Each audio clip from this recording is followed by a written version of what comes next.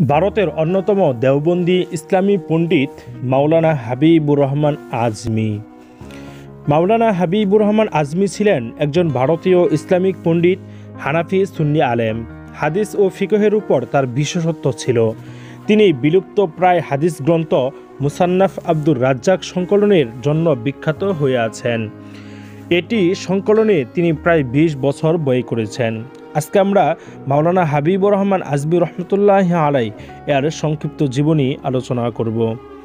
মাওলানা হাবিবুর রহমান উনিশশো এক খ্রিস্টাব্দে উত্তরপ্রদেশের মৌজারার আজমগড়ের একটি ছোট্ট গ্রামে জন্মগ্রহণ করেছিলেন। আজমগড়ের দিকে সম্পৃক্ত করে তাকে এবং তার পূর্বপুরুষদের আজমি বলা হতো। তার পিতার নাম মাওলানা মোহাম্মদ সাবির এনায়তুল্লাহ, যিনি একজন ইসলামিক ধর্মতত্ত্ববিদ এবং তার সময়ের বুদ্ধিজীবী ছিলেন। মাওলানা হাবিবুর রহমান নিজ গ্রামে প্রাথমিক শিক্ষা লাভ করেন। এখানে তার উস্তাদ ছিলেন আব্দুল গাফফার বিন আবদুল্লাহ, যিনি রশিদ আহমদ গাঙ্গুহি রহমতুল্লাহ আলাই এর শিষ্য ছিলেন। তিনি তার নিকট প্রায় পাঁচ বছর শিক্ষা লাভ করেন। এরপরে হাবিবুর রহমান দারুল উলুম দেওবন্দে চলে আসেন।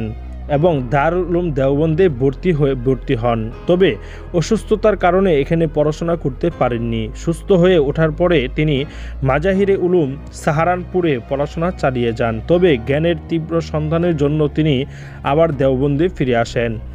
যেখানে তিনি আবিদ শাহ কাশ্মীরি, সাব্বির আহমদ উসমানী এবং মাওলানা আসগর হুসাইন থেকে শিক্ষালাভের সুযোগ লাভ করেছিলেন।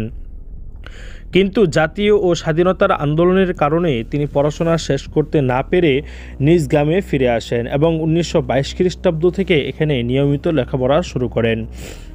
মাওলানা হাবিবুর রহমান তার শিক্ষা সমাপ্ত করার পরে তিনি দারুল উলুম মৌতে শিক্ষকতা শুরু করেন এবং সেখানে ইসলামী সাহিত্য ও আইন শাস্ত্রের পাঠদান শুরু করেন।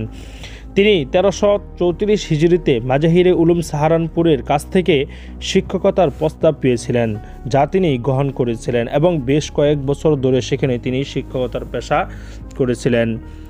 মাওলানা হাবিবুর রহমান তেরোশো সাঁত্রিশ হিজড়িতে তার জন্মস্থান মৌতে ফিরে আসেন এবং মিফতাহুল উলুম, উলুমে শাইখুল হাদিস হিসেবে নিয়োগ লাভ করেন।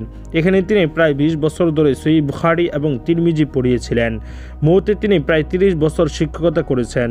হিন্দুস্তান, আরব, দক্ষিণ আফ্রিকা এবং ইউরোপীয় দেশগুলোর সহস্রাধিক শিক্ষার্থী তার কাছে শিক্ষা লাভ করেন। তেরোশো উনসত্তর হিজড়িতে তিনি শিক্ষাদানকে বিদায় জানিয়ে গবেষণা শুরু করেন। মাওলানা হাফিজ হাবিবুর রহমান ভারতের রাজনৈতিক অস্থিরতার কারণে নিজেকে রাজনীতি থেকে কিছুটা দূরে রেখেছিলেন। কিন্তু উনিশশো বাহান্ন সালে তৎকালীন ভারতের প্রধানমন্ত্রী তাকে সুষ্ঠু ও স্বচ্ছ রাজনীতির জন্য আমন্ত্রণ করলে তিনি রাজ্যের বিধানসভা নির্বাচনে অংশ নিয়েছিলেন। তিনি খুব সহজে বিপুল ভোটে বিধানসভার সদস্য নির্বাচিত হন। সদস্য হওয়ার পরে তাকে তার অবাসন পরিবর্তন করে লখনৌতে চলে যেতে হয়। তার জ্ঞানকে কাজে লাগাতে আবুল হাসান আলী নাদবি তাকে দারুল উলুম নাদুয়াতুল উলামায় শিক্ষকতার প্রস্তাব দান করেন। তিনি এই প্রস্তাব গ্রহণ করে এক বছর বিনা পারিশ্রমিককে শিক্ষকতা করে যান। তারপরে তার সদস্য পদের মেয়াদ শেষ হয়ে গেলে তিনি আর্থিক চাপের মুখে পড়েন। আবুল হাসান আলী নাদবি তাকে পারিশ্রমিক গ্রহণের প্রস্তাব দিলে তিনি তা গ্রহণে অপারগতা প্রকাশ করেন। তিনি আর রাজনীতিতে অংশ নেননি বলে তার রাজনৈতিক জীবন ছিল মাত্র পাঁচ বছরের। একইভাবে তিনি তার মেয়াদ শেষ হওয়ার পরে লখনৌ থেকে সরাসরি তার নিজ গ্রামে চলে আসেন। মাওলানা হাবিবুর রহমান আজমির খ্যাতির মূল কারণ ছিল তার রচনামূলক পরিষেবাদি, যা কেবল আরব দেশগুলোতে নয়, বরং আফ্রিকান ও ইউরোপীয় দেশগুলোতেও তার জনপ্রিয়তার জন্য সহায়ক ছিল। তার প্রায় তিরিশ বছর শিক্ষকতার সময়ে তিনি বহু বিধান ব্যক্তিত্ব প্রস্তুত করেছিলেন, যাদের মধ্যে মাওলানা মঞ্জুর নুমানি, ডক্টর মুস্তফা আকজামি মুফতি জুবায়ের উদ্দিন মিফতাহির মতো অনেকেই সরাসরি তার ছাত্র ছিল। তিনি আফগানিস্তান, আরব, দক্ষিণ আফ্রিকা, ইউরোপ এবং উপমহাদেশ সহ সারা বিশ্বের ধর্মতত্ত্ববিদদের কাছ থেকে উস্তাদুল হাদিস উপাধি অর্জন করেছিলেন।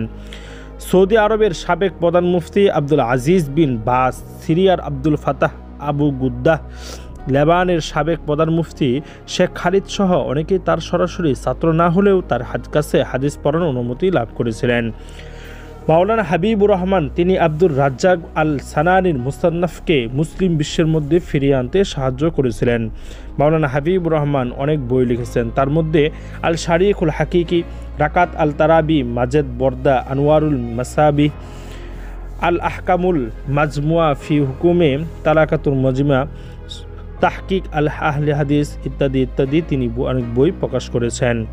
মাওলানা হাবিবুর রহমান, তিনি ষোলোই মার্চ উনিশশো বিরানব্বই সালে ভারতের উত্তরপ্রদেশের মৌতে নিজ গ্রামে মৃত্যুবরণ করেন। আল্লাহ রব্বুল আলমিন মারুন হাবিবুর রহমান রহমতুল্লাহ আলাইকে জান্নাতের উচ্চ মকাম দান করুন। আমিন।